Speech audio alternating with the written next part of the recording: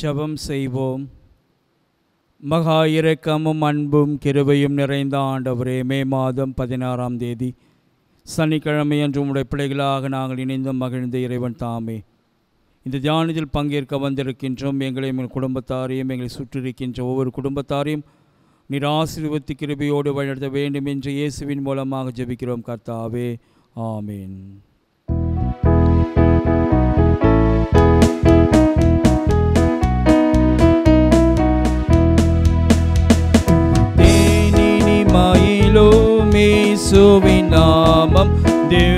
மதுரமாமே. அதை தேடியே நாடி ஓடியே வருவாய். தினமும் நீ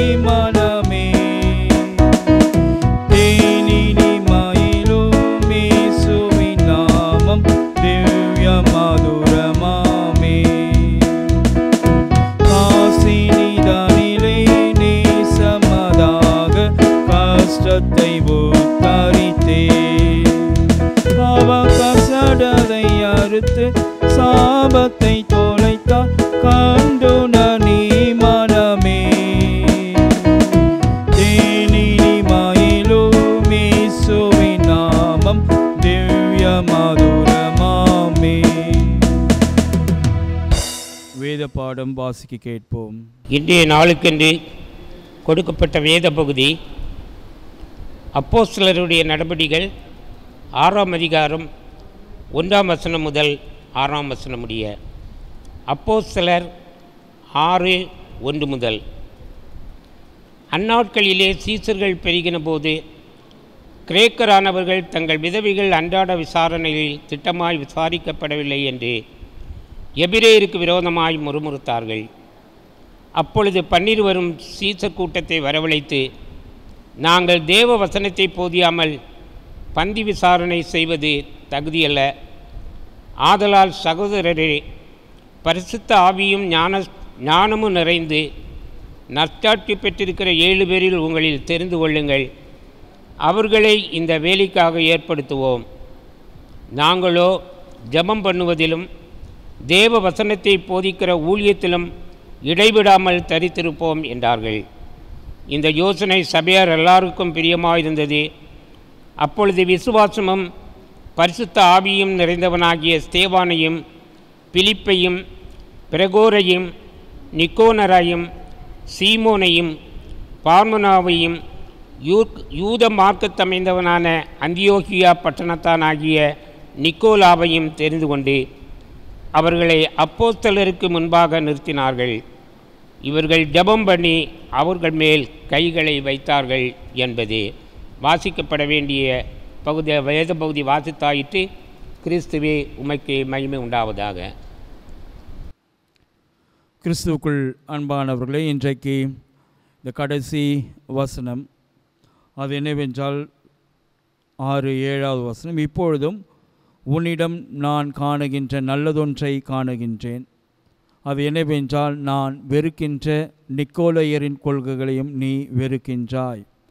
என்று சொல்லி இந்த ஆறாவது வசதி சொல்கிறார் நான் உன்னிடத்தில் காணுகின்ற ஒரு நல்ல ஒரு விஷயம் இருக்குது போன வார்த்தையில் சொன்னார் உன்னிடத்தில் காணுகின்ற குறை இருக்கிறது. இப்போ சொல்கிறார் நல்லதை காணுகின்றேன். ஒரு மனிதனுக்கு இரண்டு பக்கங்கள் உண்டு. ஒரு நாணயத்திற்கு இரண்டு பக்கங்கள் இருப்பது போலவே ஒவ்வொரு மனிதனுக்கும் இரண்டு பக்கங்கள் உண்டு. அது போன காரியத்தை சொல்லிட்டாரு குறை சொன்னார் இப்பொழுது நிறைய சொல்கிறாரு அது என்னவென்றால் நான் வெறுக்கின்ற நிக்கோலையரின் கொள்கைகளையும் நீயும் வெறுக்கின்றாய். நாம் நினச்சின்னு இருக்கிறோம் இன்றைக்கு இருக்கின்ற சுதேச மக்கள் தனிப்பட்ட பிரசங்கியார்கள்லாம் இன்றைக்கு சத்தம் போட்டு ஆவலோடு பேசி கொண்டிருக்கிறாங்க. கடவுளால் ஆசிர்வதிக்கப்பட்டவர்கள் என்று நாம் நினைத்து கொண்டிருக்கிற அவர்கள் எல்லோரும் ஒரு காலத்தில் கடவுள் சொல்லலாம் நான் வெறுக்கிற அவர்களையும் நீ வெறுத்தாயே அப்படின்னு நம்ம கேட்கும்போது நம்ம சொல்லலாம் என்ன சாமி நீங்கள் அப்படி சொல்லிட்டீங்க? நீங்கள் யாரை வெறுத்துட்டீங்க? அப்படின்னு நம்ம ஒரு கேள்வி கேட்கும்போது அவர் நீண்ட ஒரு பட்டியலை வச்சுருக்கலாம். ஒரு அன்பான இந்த நிக்கோலியர் யார் என்பதை நாம் பார்க்கும்போது அது நமக்கு ஒரு புதிதான ஒரு விளக்கத்தை தரக்கூடியது. அப்போஸ் நடவடிக்கைகள் ஆறாம் அதிகாரம். அங்கே ஆதி திருச்சபையில் அங்கே சீடர்கள்லாம் சொல்கிறாங்க நாங்கள் கிரேக்கர்கள் யூத பெண்களுக்கும் நடக்கின்ற சண்டையில் நாங்கள் பந்தி விசாரிப்பு செய்வது நல்லதல்ல. உங்களில் திறமை வாய்ந்த ஏழு பேரை தெரிந்து கொள்ளுங்கள். அதில் வருகின்ற ஒருவர் தான் நிக்கோலையர். ஒருவேளை அப்படிப்பட்ட அந்த நிக்கோலையர் அவர் ஆதி திருச்சபையில் இருந்த ஒரு மனிதர் உறுப்பினர். பிற்காலத்தில் என்ன பண்ணிட்டார்? இதில் ஆவி இல்லை உற்சாகம் இல்லைன்னு ஒரு புதிய போதனை தேடி ஓடிட்டார். சைதாப்பேட்டைக்கு ஓடுறாங்களே அந்த மாதிரி போயிட்டார். அங்கே போயிட்டு என்ன கொள்கையை ஏற்றுக்கொண்டார் என்றால் அறிவு சார்ந்த கொள்கையை விரும்பினார். கினாஸ்டிக் மூமெண்ட் இந்த மூமெண்ட் இந்த ஏக்கம் சொல்லித் தருகின்ற செய்தி என்னவென்றால் நாம் செய்கின்ற தவறுகள் எதுவுமே நியாய தீர்ப்புக்கு போகாது. ஆக சரீர பிரகாரமாக நீங்கள் எந்த தவறையும் நீங்கள் செய்யலாம். ஆக அந்த தவறுகள் கடவுளிடத்தில் போக போகிறது ஏனென்றால் இந்த உலகத்தினுடைய ஆசை பாசங்கள் இன்பங்கள் எல்லாத்தையும் கடவுள் தான் படைத்திருக்கிறார். நீ அனுபவிக்கலாம் என்று ஒரு புதிய போதனைக்குரியவர்கள். ஆக இந்த போதனை சார்ந்திருக்கிற மக்கள் நாஸ்டிக் என்கின்ற இயக்கத்தை தொடங்குகின்றவர்கள் ஆக இந்த நிக்கோலியர் என்கின்ற வார்த்தை பொருள் என்னவென்றால் இந்த கிரேக்க வார்த்தை இரண்டு பிரிவுகளாக பிரிக்கலாம். நிக்கோல்டியர் என்பது இரண்டுக்காக பிரிக்கலாம். ஒன்று நிக்கோலா என்பது என்னவென்றால் டு கான்கர் கோலாஸ் லோகாஸ் என்று அழைக்கப்படுகின்ற வார்த்தை எதற்கு சமம் என்றால் த பீப்புள் ஆக நிக்கோல்டியன்ஸ் என்றால் டு கான்கர் த பீப்புள் மக்களை வெற்றி கொள்ளக்கூடியவர் என்று பொருள்படும். ஆக இந்த போதனைகள் என்பது எளிதாக மக்களை கவரக்கூடியது. எது கவரக்கூடியது? தவறு செய்தால் தப்பு கிடையாது. அப்படின்னும் போது எல்லா மக்களும் யார் பின்னாடி போவாங்க? அவங்க பின்னாடி தானே போவாங்க. இந்திய தத்துவம் ஆனது ஒரு பள்ளி இருக்குது ஒரு ஸ்கூல் ஆஃப் இந்தியன் ஃபிலாசபி அது எது என்னவென்றால் சார்வாகாஸ். இந்த சார்வாக தத்துவம் என்ன சொல்லுகிறது? மனிதனுடைய சரீரமானது சாத்தானின் வீடு. அதை மாசுபடுத்துவதனால் எந்த விதமான ஒரு குறையும் கிடையாது அப்படின்னு நமக்கு சொல்லி தருகின்ற ஒன்று. ஆக அன்றைக்கு எபேசு பட்டணத்தில் இருந்தவர்கள் மாத்திரமல்ல அன்றைக்கு ஆதிகால திருச்சபையில் ஒரு மிகப்பெரிய ஒரு ஊடுருவல் நிகழ்ந்தது. அது தவறான போதனையினால் மக்கள் திசை திருப்பப்பட்டு அவங்கெல்லாம் ஓடி போனாங்க. ஆக இன்றைக்கும் நீங்களும் நானும் இன்றைக்கு நூதனமான போதனைகளால் நாம் ஈர்க்கப்பட்டிருக்கின்றோம். இந்த போதனைகள் மூலமாக நாம் என்ன பண்ணுறோம் நாம் கடவுள் அண்டை போக முடியும் என்று நாம் பார்க்கணும் ஒருவேளை அமெரிக்கா த தேசத்தில் கயானாவில் ஜோன்ஸ் என்று அழைக்கப்படுகின்ற ஒருத்தர் இருந்தார். அவர் என்ன பண்ணாருங்க? ஒரு புரட்சிகரமான ஒரு கருத்தை சொன்னார். நான் கடவுளோடு கூட நேற்று நான் பேசினேன். அப்படின்னு இன்றைக்கு நாம் அநேக தரம் டெலி டெலிவிஷனில் நம்ம பார்க்குறோம்ல அந்த மாதிரி அவரும் சொன்னார். நேற்று நான் கடவுளோடு கூட பேசினேன். என்ன பேசினார்? நாம் அனைவரும் மோட்சத்திற்கு போவோம். அங்கே ஆயிரக்கணக்கான மக்கள் அவருடைய வாசகங்கள் அருளுரை கேட்க கூடுவாங்க. அதை நம்பினார்கள். கடைசியில் ஒரு நாள் சொன்னார் கடவுள் சொல்லியிருக்கிறார் நாம் அனைவரும் நாம் இறந்து போனால் மோட்சத்திற்கு போக முடியும். அதனால் நாம் என்ன பண்ணலாம்? நாம் அனைவரும் ஒரு குறிப்பிட்ட நாளன்று நாம் இறந்து போனால் கடவுள் நம்மை நேரடியாக எடுத்துக்கொள்வார். எப்பொழுதுமே இந்த உலகத்திலே அமெரிக்கர்கள் இந்த மாதிரியான புதுவிதமான போதனைகள் கேட்பதிலே அசாத்தியமான அங்கே சந்தோஷம் கொண்டவர்கள். அதனால் ஓடி போனாங்க. போன உடனே அவர் என்ன சொன்னார்? ஒரு நாள் குறிக்கப்பட்டது. அந்த இடத்துல அவர் சொன்னார் நாம் அனைவரும் சைனட் சாப்பிட்டு இறந்து போனால் பரலோகம் போக முடியும் அப்படின்னாரு. எல்லோரும் கேட்டாங்க அதில் ஏறக்குறைய இரநூறுக்கு மேற்பட்டவர்கள் இறந்து போனார்கள். ஒரு அன்பாளர்கள் இப்படிப்பட்ட ஒரு போதனை அன்றைக்கும் இருந்து ஏழாவது வசனம் சொல்கிறாரு கேட்க செவியுடையோர் திருச்சபைகளுக்கு தூய ஆவியார் கூறுவதை கேட்கட்டும்.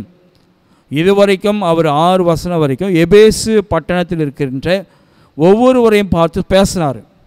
ஏழாவது வசனம் வரும்போது சொல்கிறார் காது குறியவர்கள் கேட்க செவியுடையோர் கேட்கட்டும். இது எல்லா திருச்சபைகளும் பொருந்தக்கூடிய ஒரு அழைப்பு.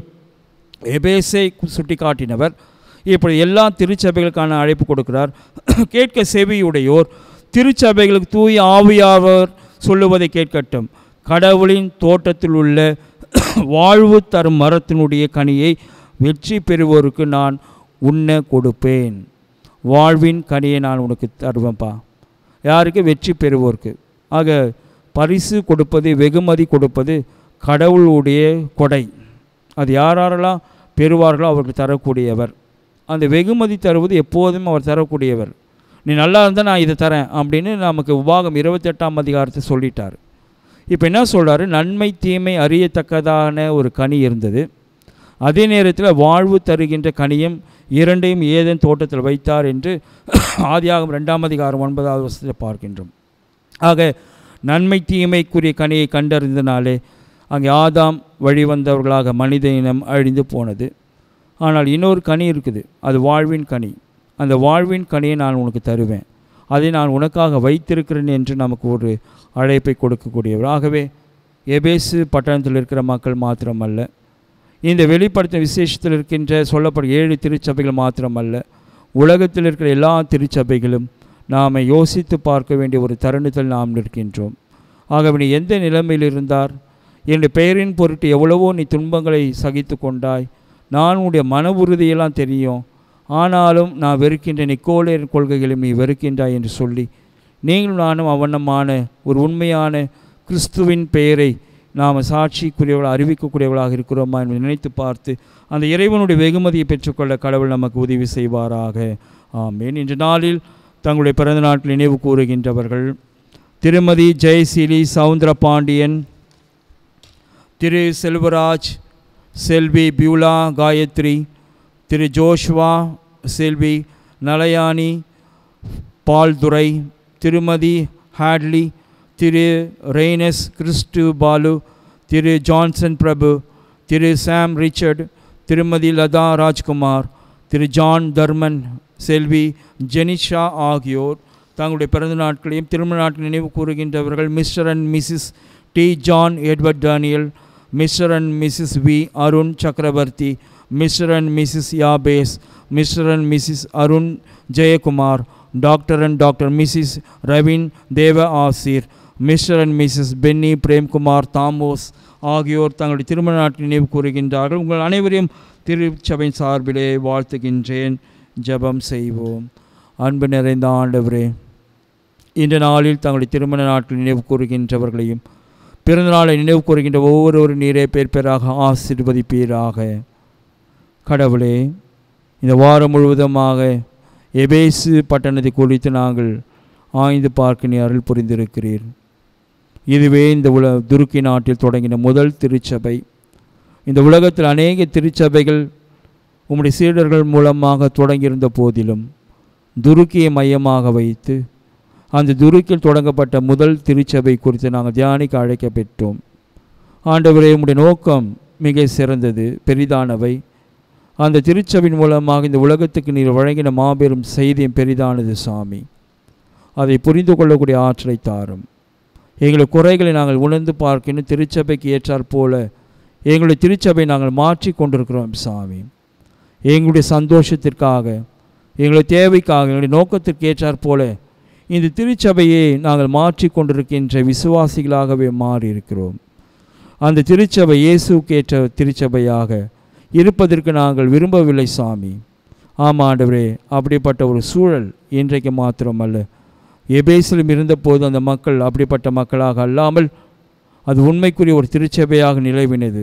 எங்களுக்கு விடப்படுகின்ற ஒரு மாபெரும் ஒரு அழைப்பு என்பதை நாங்கள் ஏற்றுக்கொண்டு எங்களுடைய திருச்சபை உம்முடைய மாண்புக்கும் சாயலுக்கும் ஏற்றாற்போல் அமைய இறைவன் தாமே அருள் புரிய வேண்டும் என்று எங்கள் ஆண்டவராக இயேசுவின் மூலமாக ஜெபிக்கிறோம். கர்த்தாவே ஆமே நம்முடைய ஆண்டவராக இயேசு கிருஷ்ணுடைய கிருபையும் பிதாவாக தேவனுடைய அன்பும் தூயாவியானவருடைய வழிநடத்தது நம் அனைவரோடும் இன்றும் என்றும் சதா காலங்களிலும் நிலைத்திருப்பதாக.